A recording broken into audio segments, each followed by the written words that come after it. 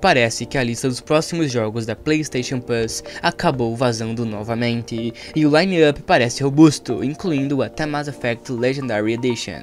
No Twitter, os principais no Twitter, o perfil Dead Labs, que vem acertando os games consistentemente ao longo dos meses, vem publicando e mostrando quais devem ser os próximos três games resgatáveis pelos usuários da PSN Plus em dezembro deste ano. O maior game da lista é Mass Effect Legendary Edition, lançado em 2021, que conta com a trilogia original e completa da aventura espacial desenvolvida pela BioWare e publicada pela EA. Ainda que seja a versão para PlayStation 4, os jogadores já podem jogar tranquilamente no PS5 via retrocompatibilidade compatibilidade.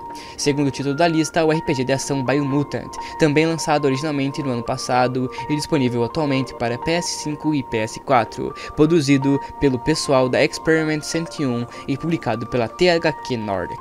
O título põe jogadores no comando de um roedor lutador de Fu em um mundo pós-apocalíptico. Por fim, o terceiro e último game da lista é Divine Knot, um jogo de luta de plataforma em terceira pessoa que reúne um elenco literalmente divino, com uma porção de de divindades e semideuses. O título tem um lançamento marcado somente para o dia 6 de dezembro deste ano e terá versões para PS4 e PS5. Não houve confirmação ou qualquer pronunciamento oficial da Sony em relação aos jogos da PSN Plus deste mês, mas levando em conta o histórico de acertos do pessoal da Dead Labs, é bem provável que a lista vazada seja novamente correta. E para isso, ficamos por aqui. A todos muito boa noite, grande abraço e até!